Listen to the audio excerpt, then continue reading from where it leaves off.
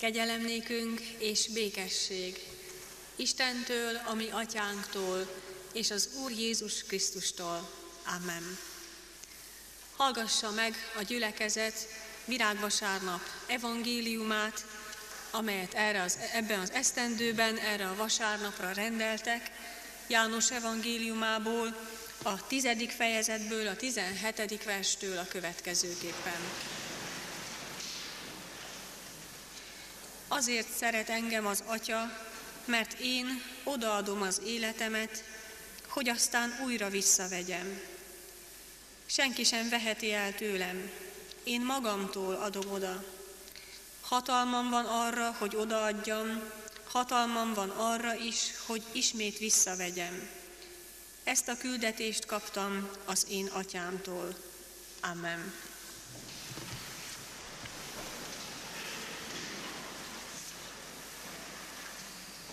Kedves testvéreim a Jézus Krisztusban!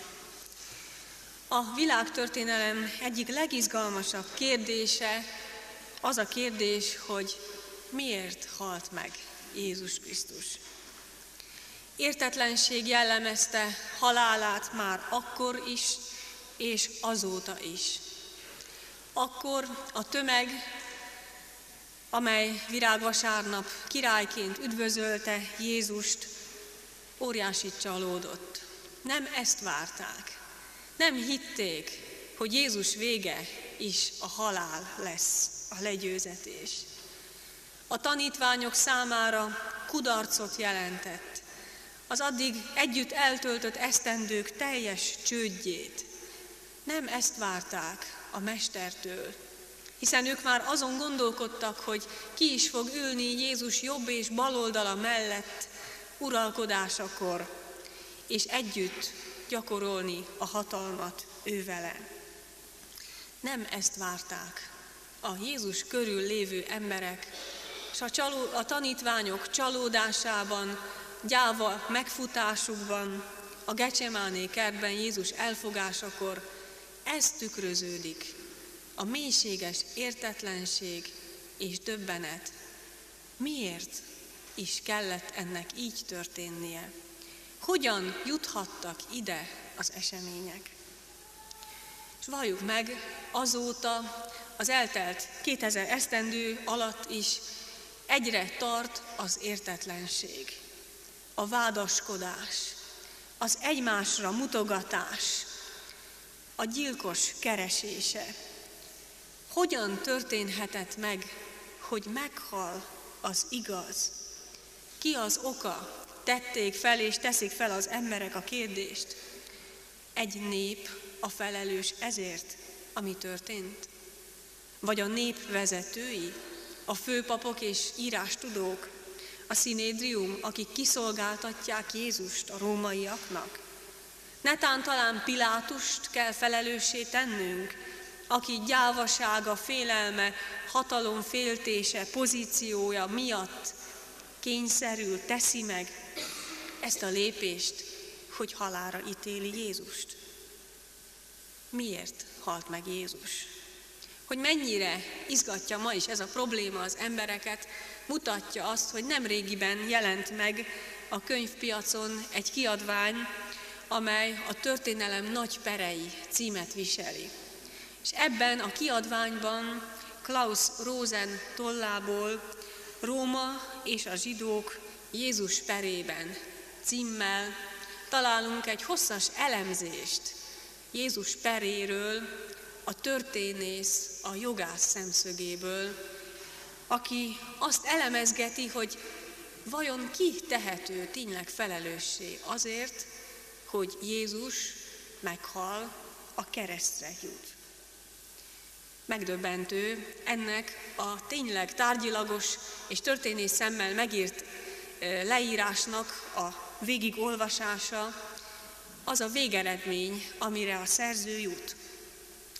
Arra jut ugyanis, hogy egyik sem, sem a zsidó nép, sem a római Pilátus nem tehető jogilag felelőssé Jézus halála miatt.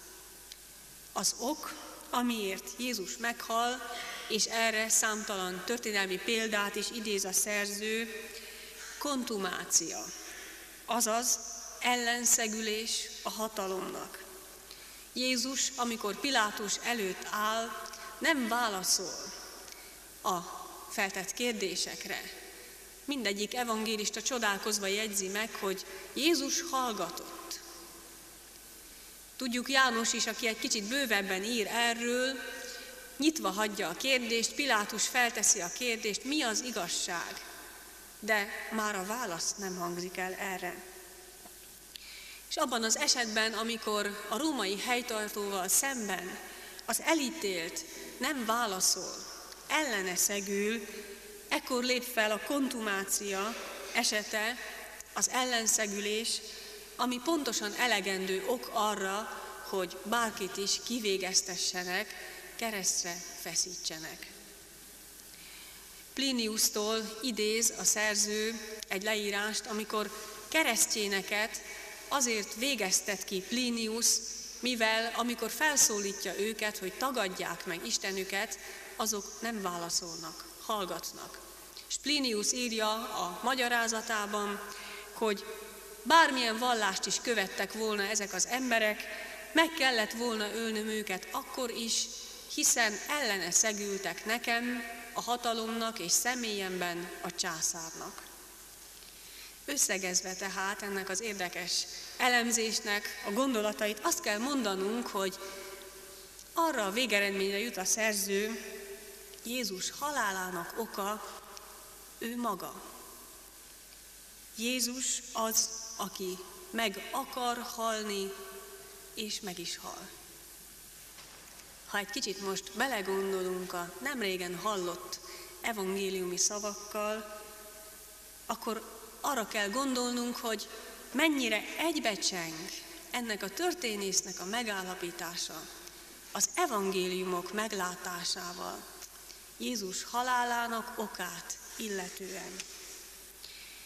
Nem fiaskó volt Jézus halála. Nem a jó ügy szokásos, tragikus elbukása, az igaz hős, az igaz ember, tragikus meg nem értettsége, környezete által végül is kivégzése. Nem valamiféle emberi színjáték, dráma húzódik itt meg, tragédia, amelynek hőse szükségszerűen elbukik. Nem emberek felelősek Jézus haláláért. Mit mondott Jézus? Én odaadom az életemet, hogy aztán újra visszavegyem. Senki sem veheti el tőlem, én magamtól adom oda. Hatalmam van arra, hogy odaadjam. Hatalmam van arra is, hogy ismét visszavegyem. Ezt a küldetést kaptam az én atyámtól. Hatalmamban van, mondja Jézus, letenni az életemet, és ismét felvenni azt. Érdekes ennek a görög szónak, az exúziának van egy olyan jelentése is, hogy jogom van hozzá. Jogomban áll tenni, cselekedni valamit. Ez a szó első jelentése, és a második a hatalom. Csak zárójelbe jegyzem meg, hogy mennyire jó lenne, ha ma is ezt értenénk alatta, hogy hatalom és a hatalom gyakorlása az csak a jog gyakorlása lehet, és a jogos cselekmények elkövetése és megtétele, nem pedig a hatalmaskodás, a korlátok nélküli hatalom, erő gyakorlása. Jézus ebben a jogos értelemben gyakorolja hatalmát, saját kijelentése szerint. Joga van hozzá, és ezzel aláhúzza azt a tényt, amelyet így a nagy hét kezdetekor, virágvasárnap olyan jó szemünk előtt tartani, hogy Jézus tudatosan vállalja a halálát.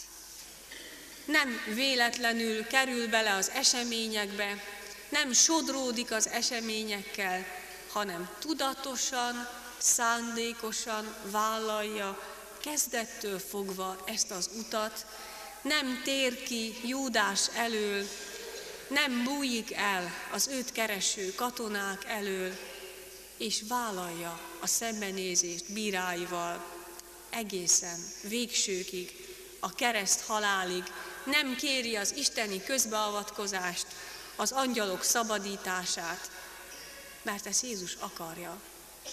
Ő akar meghalni. Döbbenetes szavak ezek. Éppen ezért jó csendben belegondolni újból és újból ezeknek a szavaknak a súlyába.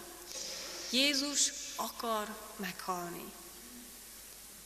Ez az én küldetésem, hallottuk az igéből. Ez a szó latinul így hangzik, mandátumom, feladatom, megbízásom. Isten az, aki erre küld engem, mondja Jézus. Tehát Jézus akarata igent mondás a szerető mennyei atya akaratára. Ezt a parancsot kaptam, ez az én feladatom, mondja Jézus, és az evangélisták most értjük igazán, hogy milyen hűen írják le a földi Jézus életét, már kezdettől fogva rávetül, már a gyermek Jézus életére rávetül a kereszt árnyéka. Az evangélisták tudják, és belelátják már az eseményekbe, hogy valóban Jézus kezdettől fogva tudatosan készült a halálára, hiszen ez volt az ő küldetése. Ezért jött ő. Azért jött, azért született, hogy meghalljon.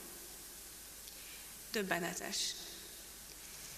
Mélységesen elgondolkodtató. Az ige testé lett, mondja János evangélista, és ő az az evangélista, aki leginkább érzékelteti evangéliumában végig Jézus tudatos készülődését a halálra, a szenvedésre és a feltámadásra. Íme az Isten báránya, halljuk már az első fejezetben Jézus megkeresztelkedésekor keresztelő János tanúságtevését. A bárány, az áldozati bárány, akinek vére hull másokért, mások bűne miatt. És ma este, amikor el fog hangozni a Luteránia előadásában a János Passió, hallani fogjuk ismét azt a csodálatos áriát, amikor Jézus lehajtja a fejét a kereszten, és azt mondja, elvégeztetett. Ez az utolsó szava Jézusnak. Elvégeztem azt, amiért jöttem, amit Isten rám bízott. Hallani fogjuk, ahogy Bach mennyire ráérzett ennek a teológiai mélységére, és ezt a szöveget adja az ária, az altária szájába, győzött a Júda oroszlánja. Győzelem történt. Bár ez emberileg egyáltalán nem látható, bár ez emberileg teljes mértékben rejtve marad az esemény szemlélői előtt. Önként teszem, amit teszek, mondja Jézus, ezért jöttem, hatalmam van rá. Nem emberek döntöttek a názáreti Jézus felől, nem emberek felelőssége vagy felelőtlensége, saját akarata vitte őt a keresztfára. És el kell gondolkodnunk éppen ezért, hiszen ez a néhány mondat, ami a mai alapigénk, mint egy lehetne a nagy hét eseményeinek nyitánya is. Nyitány, amelyben felcsendül az alapdallam, a szereplők jellemzése, mind az dióhéjban benne van, ami a továbbiakban várható. Előlegzi, mint egy értelmezi, kulcsot ad az eseményekhez. Szabad nekünk tehát ezen a héten így szemlélni Jézus eseményét, nem egyszerűen a tragikus hőst látni benne, hanem azt a valakit, aki mindezt nagyon tudatosan vállalja. És amikor Jézus azt mondja, hogy legyen meg a te akaratod, akkor nem az emberek akaratára mond igent a Gecsemáné kertben, nem azt mondja, hogy legyen meg a főpapok akarata, legyen meg a vért látni kívánó tömeg akarata, hanem Isten akaratára mond igent Jézus. És itt kell rádöbbennünk arra, hogy mi emberek mennyire hiányosan és rosszul ítéljük meg a dolgokat. Mert az eseményeknek csak a fonákját látjuk. Látunk dolgokat, eseményeket, a nagy hét is megmutatja Jézus szenvedésének a fonákját. Látjuk Jézus erőtlenségét, a tanítványok árulását, és a színe, ahol a kép látható, ahol a minta kirajzolódik, valójában csak húsvét után érthető, ahol kiderül az, hogy Jézus mindezt tudatosan vállalta. Mindezt értünk tette. És ezen kell nekünk, mai embereknek, akik feltesszük a kérdést, miért is halt meg Jézus? Ha elfogadjuk ezt a választ, hogy ezt Jézus önként, tudatosan tette, mert ez a küldetése, mert meg volt győződve róla, hogy néki ez az útja, akkor kell feltennünk igazán a kérdést, miért is tette Jézus? Miért vállalta tudatosan a kereszt halált?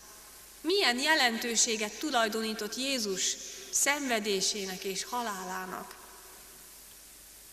Ez a lényeges kérdés, amire felelnünk kell. És ez Jézus személyének központi kérdése. Mert amíg Jézus számunkra a nagy tanító marad, vagy a csodatevő, a megbízható példakép, akihez fordulhatunk, addig nem értettünk meg semmit Jézus személyének titkából. Ha végig kísérjük őt a kereszt úton, és eljutunk oda a kereszt alá, és megállunk ott nagypénteki gyászban, akkor fordulhatunk imádságba Istenhez, és kérhetjük, hogy ő magyarázza meg nekünk, miért halt meg Jézus. Mert az ok emberileg nem érthető. Mert az ok logikával, józan észsel fel nem fogható. Mert az Isten titka ez. Krisztus halála. A kereszt titka, amit annyian megénekeltek, megfestettek, leírtak, és Jézus kinyilatkoztatásából, saját szavaiból fogadhatjuk el, világosodhat meg a mi elménk is, és válhat valósággá számunkra is a titok, miért halt meg Jézus. Canterbury Anselmus, a kora középkor egyik gondolkodója, a Curdeus Homo, miért lett Isten emberré című könyvében írja ezeket a súlyos mondatokat. Még nem gondoltad meg, ó ember, bűneidnek súlyát. Még nem gondoltad meg, ó ember, bűneidnek súlyát. Ha eljutunk a kereszt alá, akkor nem tehetünk mást, mint hogy összehasonlítjuk magunkat Jézussal. Azt kell látnunk, hogy ő igaz, mi pedig bűnösök vagyunk. Ő ártatlan, mi pedig vétkesek vagyunk. Ő igaztalanul szenved, mi pedig elkerüljük a szenvedést.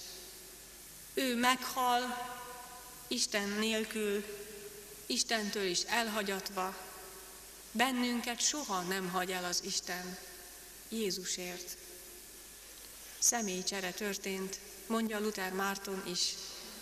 Amiért nekünk kellene szenvednünk, amit nekünk kellene viselnünk, azt viseli Jézus.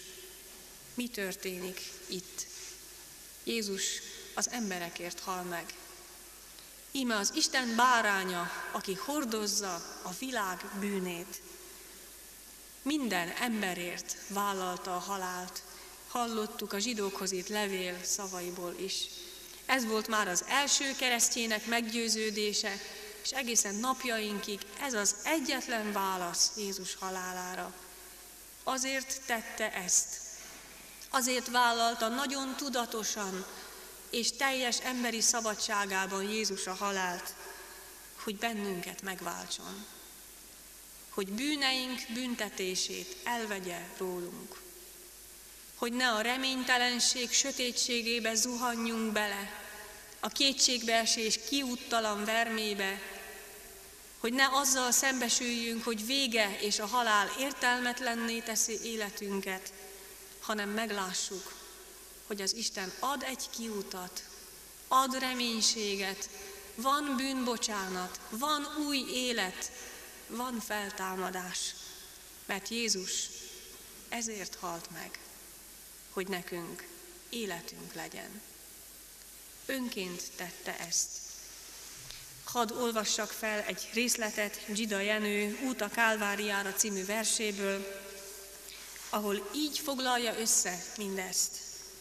Valaki lépked felfelé tart, bozót közt víg madársereg, valaki lassan felfelé tart, tövisről vérharmat csepeg, valaki fel a csúcs felé tart, hogy önmagát feszítse meg. Valóban, ezért vállalta Jézus a halált, hogy nekünk életünk legyen, mert a végtelen szeretet nem talált más utat a mi megmentésünkre. Szabad egy ilyen szeretet elől kitérni? Azt mondani, hogy nem érdekel minket?